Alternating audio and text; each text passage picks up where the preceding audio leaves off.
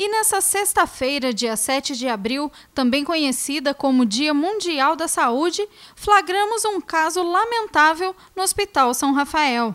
Enquanto aguardávamos na recepção para fazer uma reportagem, observamos a pequena Bárbara, que, mesmo não conseguindo andar e sendo entregue à mãe em uma cadeira de rodas, recebeu alta no hospital. Observando as condições da criança, conversamos com a mãe, a Tatiana, que nos explicou o caso. Ah, de manhã a Bárbara foi atendida por uma médica, nem deixaram eu entrar. Me acusaram pra caramba que eu fui irresponsável, que deixei, eh, que por minha culpa ela tinha tomado medicamento. Só que eu sou bem cuidadosa. Eu não, não descuido de nada. Só que, por mais que esteja no alto, criança, se a gente dá uma descuidada, você sabe, né? Aí ela pegou uns medicamentos meu para brincar e tomou, sem eu saber. Nisso ela amanheceu ruim. Ela caiu da cama, aí a gente, eu falei pro meu marido que ela não estava normal. Aí nisso eu trouxe, é, levei ela no posto, lá perto de casa. Aí eles, o doutor Serginho atendeu ela e na mesma hora ele encaminhou para o São Rafael, que era casa de internamento, ó.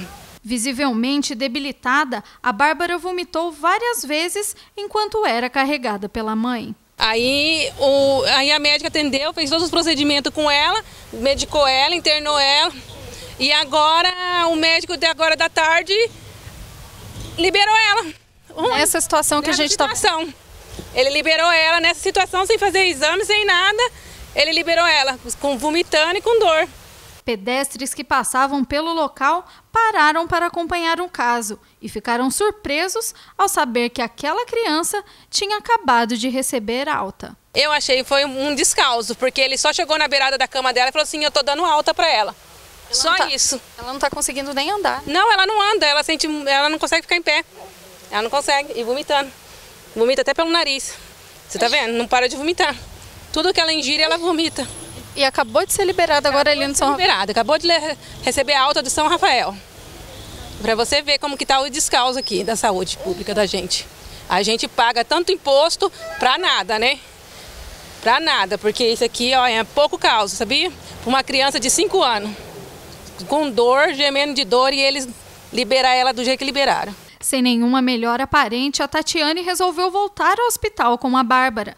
Ela pediu o apoio da nossa equipe e alguns populares que acompanhavam o caso também foram ao local. Ao chegar no hospital, a mãe, indignada, com a filha nos braços, pediu ajuda e aí então foi atendida. É difícil comemorarmos o Dia Mundial da Saúde enquanto acompanhamos casos como da pequena Bárbara.